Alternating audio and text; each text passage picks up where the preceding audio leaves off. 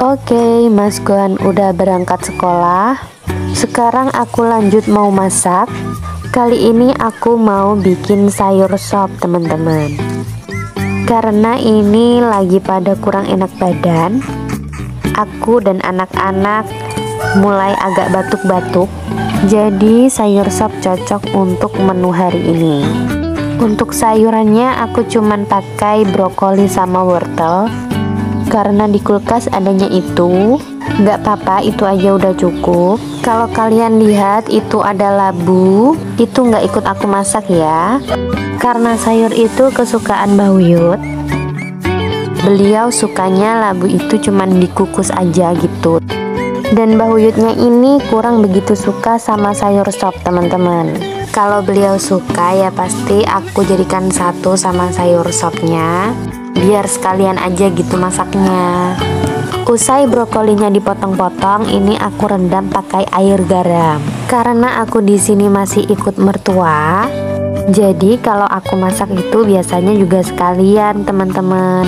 Kadang-kadang aku yang masak, kadang-kadang juga ibu mertuaku yang masak. Kalau ibu mertuaku yang masak, itu biasanya tanya aku dulu teman-teman. Kira-kira anak-anak nanti mau apa enggak? Gitu. Tapi alhamdulillahnya anak aku itu nggak terlalu milih ya teman-teman. Jadi apa aja insya Allah mau. Selesai aku potong-potong dan bersihin sayurnya Aku cek dulu ini cekernya udah empuk apa belum. Dan ternyata masih agak keras Jadi ini aku goreng bawangnya dulu.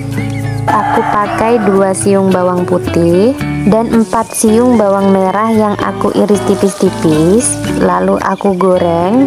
Untuk bawang putih gorengnya aku haluskan lalu aku masukkan ke dalam kuahnya teman-teman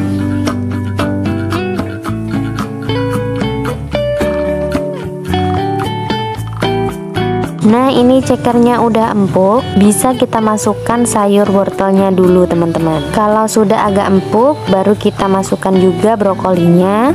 Aduk-aduk sebentar Lalu biarkan sampai mendidih ya teman-teman. Nah kalau udah mendidih Ini aku masukkan satu buah tomat sama daun seledri. Aku matikan kompornya Lalu aku masukkan bawang goreng Garam, gula, penyedap rasa, dan sedikit lada Aduk sampai tercampur rata. Lalu jangan lupa untuk koreksi rasa. Dan ini udah mantep. Pasti anak-anak nanti bakalan suka. Alhamdulillah masaknya udah selesai. Jadi ini aku bantuin mertuaku buat jemur padi ya teman-teman. Karena kemarin itu waktu panen baru setengah jalan hujan turun teman-teman. Jadi ada beberapa padi yang basah kuyup terkena air hujan. Dan ini udah hari kedua jemur padinya. Semoga hari ini panas terik Jadi bisa selesai hari ini jemur padinya. Karena biasanya di jam 1 atau jam 2 itu udah mendung dan biasanya turun hujan. Sambil bantuin jemur ini aku sambil ngobrol-ngobrol sama mertuaku ya teman-teman sebenarnya pengen banget ngajak kalian itu buat vlog secara langsung gitu nggak diisi suaranya gini. Tapi suaranya itu nggak ketangkep dengan baik gitu loh. Kecuali kalau aku pakai kamera belakang dan HP-nya aku pegang aku videoin gitu. Nah itu suara aku baru masuk. Ih, suara yang aku videoin itu kayak jauh banget gitu nggak masuk.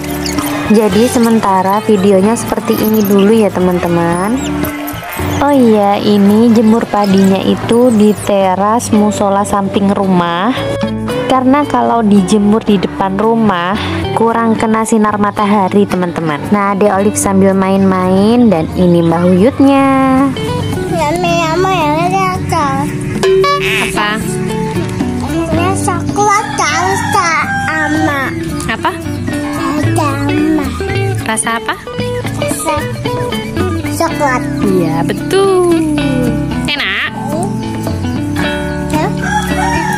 Enak, teman-teman. Enak, teman-teman. Hmm. Nah, ada cucu enak. Kameranya tak aja deh mama kan jadi cedain aku masih bisa protes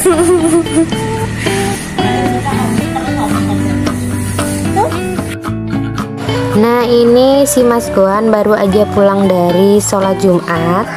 Katanya udah lapar. Jadi kita semua makan siang dulu ya teman-teman. Anak-anak makan pakai sayur sop yang aku buat tadi.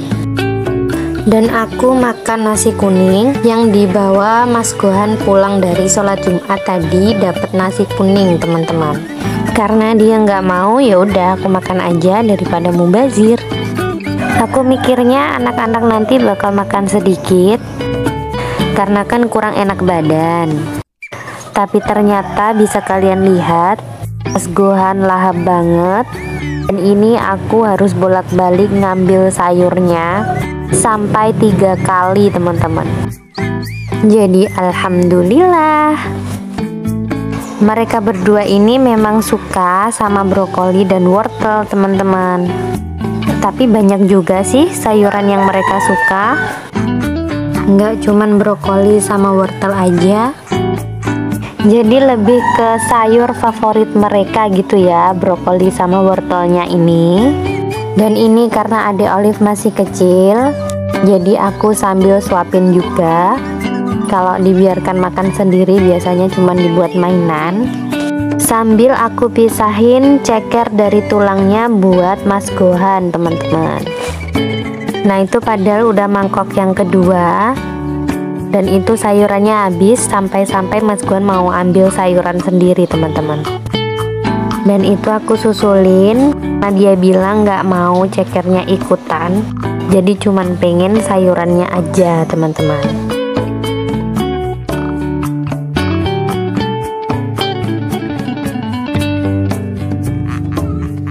Alhamdulillah tinggal suapan-suapan terakhir dan mereka kelihatan happy banget.